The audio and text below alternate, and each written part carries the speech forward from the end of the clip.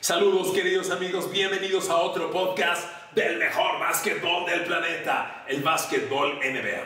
Seguimos aquí en la agencia libre de la NBA. Yo lo sé, no estamos en la duela, pero amigos, las contrataciones, las especulaciones, los cambios, los movimientos a veces resultan tan fascinantes como la propia duela de la NBA. A mí me emocionan mucho. Y en estos días ocurrieron cosas importantes. Empecemos con DeAndre Ayton. Resulta que DeAndre Ayton, el poste de los Phoenix Suns, se queda en los Phoenix Suns. Él es agente libre con restricciones. Eso significa que cualquiera de los 29 equipos de la NBA puede llegar a poner una oferta en la mesa por él.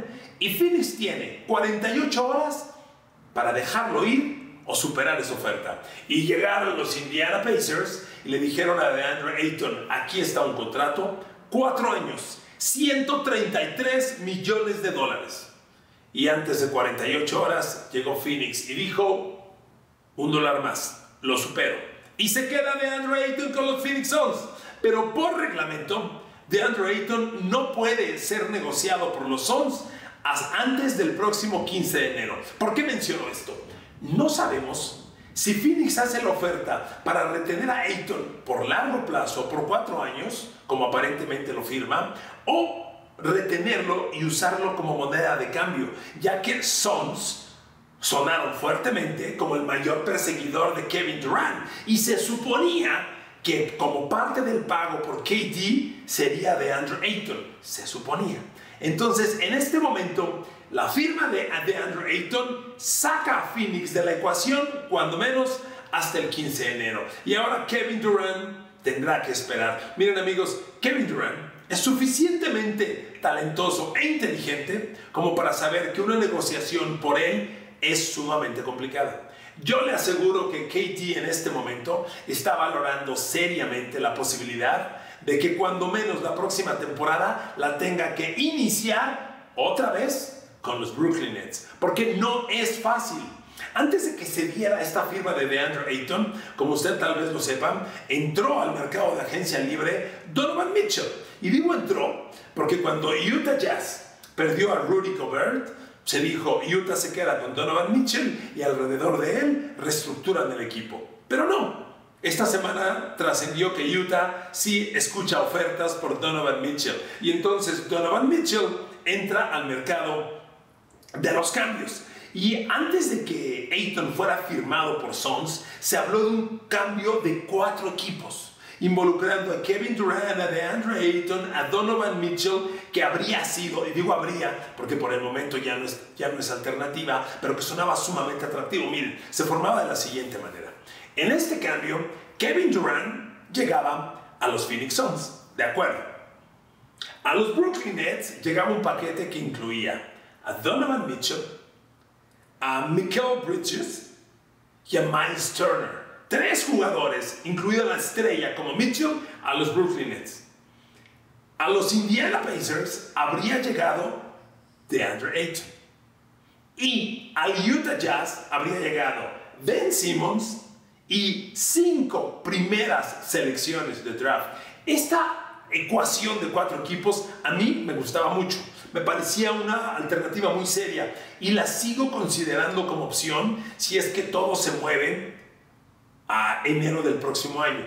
Falta mucho tiempo, no sabemos qué va a ocurrir, pero era una ecuación que estaba en la mesa, que podría desarrollarse. Amigos, por lo pronto KB tiene que quedarse días más en Brooklyn Nets, no sé cuánto. ¿Quiénes son los equipos que todavía suenan o que verdaderamente tienen capital de draft o capital de intercambio para poner en la mesa. En mi opinión, pues ahí están los Suns de Phoenix como alternativa, pero no antes del 15 de enero del 2023. ¿De acuerdo? Los Raptors de Toronto. Se sigue insistiendo en que Toronto puede ser el equipo que inesperadamente se meta por atrás. Solo que ha trascendido que Toronto no quiere perder a Scotty Barnes y que Brooklyn Nets dijo, me interesa Scotty Barnes como parte del paquete de cambio. Ahí está Toronto. Otro equipo, el Miami Heat. Aunque se menciona que Miami, al caso de recibir a KD, tendría problemas para manejar la nómina, Miami tiene opciones de cambio. A ver, en Miami Tyler Hero ya no quiere continuar. Tyler Hero ya no quiere ser el sexto hombre de la duela, quiere ser titular y quiere ser estelar en otro equipo. Podría ser moneda de cambio, tal vez con Duncan Robinson y selecciones de draft. A mí Miami por KD me hace mucho sentido, pero no ha trascendido. Y la última opción, los campeones Golden State Warriors. ¿Por qué? Porque trascendió que Steph Curry ya dio el visto bueno. Miren, desde mi ojo crítico, Golden State ya demostró que puede ser campeón sin Kevin Durant, que era como que la duda que quedaba en los últimos años. ¿Para qué quieren otra vez a Kevin Durant? Bueno, el equipo es de Steph Curry. Y si Steph Curry ya dijo, va, si le entro, pues ahí está la alternativa. Eh, Golden State tiene un, equipo muy profundo y tiene selecciones de draft, no en exceso, pero tiene con qué preparar un paquete de cambio. Si bien el visto bueno de Steph Curry ha trascendido, tampoco se sabe que haya negociaciones muy avanzadas, ¿de acuerdo? Cambiemos de tema. Donovan Mitchell. ¿Qué tal que Donovan Mitchell entra a la escena? Y como le mencionaba, a mí me gustaba involucrarlo en un cambio de 3, 4 equipos por KD. Parece que no. Pero Donovan Mitchell está en la mesa de cambios. Y el equipo que más fuerte suena son los New York Knicks. Miren amigos, para la NBA, Nueva York es un cuadro sumamente importante. Los Knicks tienen que andar bien. No estoy diciendo esto porque la NBA empujara el cambio, por supuesto que no, pero necesita la NBA y el mundo del básquetbol que a los Knicks les vaya bien. No son los Lakers, pero son un equipo con mucho glamour y una franquicia muy poderosa y están en Nueva York, donde está la liga, de la ciudad de Nueva York es la gran manzana, necesitan que a los Knicks les vaya bien. Y los Knicks acaban de firmar por 104 millones de dólares a Jalen Brunson. ¿Qué tal Donovan Mitchell? A ver amigos, primero les digo que Donovan Mitchell es neoyorquino por nacimiento. Donovan Mitchell nació en Elmsford, New York. Su papá trabajó en Nueva York. Su papá fue agente de béisbol, trabajó en el área administrativa de los Mets de Nueva York. De hecho, Donovan Mitchell creció en un mundo, en un entorno, como niño, en un entorno de béisbol. Entonces, los Knicks suenan. ¿Pero por qué suenan? Nadie en la NBA tiene más capital de draft que los New York Knicks. Para los drafts 2023, 2024 y 2025, para los próximos tres años de draft, en los que cualquier equipo normal tendría tres primeras selecciones y tres segundas, los New York Knicks en estos próximos tres años tienen siete selecciones de primera ronda y seis de segunda ronda. Es un capital bestial. Y el Utah Jazz si recordamos todo lo que pidieron y todo lo que recibieron por Rudy Gobert, están listos para ello. Si Nueva York es capaz de paquetear un par de jugadores, no sé, RJ Barrett tal vez, Fournier probablemente, y un paquete de 4 o 5 selecciones de draft, el cambio está hecho. Nueva York con Jalen Brunson y Donovan Mitchell, me encantaría, ¿eh? El año pasado vimos a Jalen Brunson con Luka Doncic en Dallas y el proyecto caminó. Siento que al final Bronson se hizo pequeño en los juegos grandes, pero ahora Jalen Bronson con Donovan Mitchell uh, sería sumamente interesante. Amigos, es increíble la cantidad de primeras selecciones de draft y de segundas que tiene Nueva York para el próximo año. Son monedas de cambio. Llegó el momento de negociarlas. Hay que ponerlas en la mesa y ver qué puede ocurrir. Amigos, y cierro este podcast con el comisionado Adam Silver que hizo comentarios muy interesantes en la semana. Él se refirió a que no le gusta que estas superestrellas de la NBA estén cambiando el escenario tan drásticamente y sobre todo tan intempestivamente. Se refiere al deseo de Kevin Durant por salir de los Brooklyn Nets. ¿Y saben qué? Yo se los mencioné desde el principio. Les dije, a mí este cambio, esta petición de Kevin Durant me deja, me deja, no me deja contento.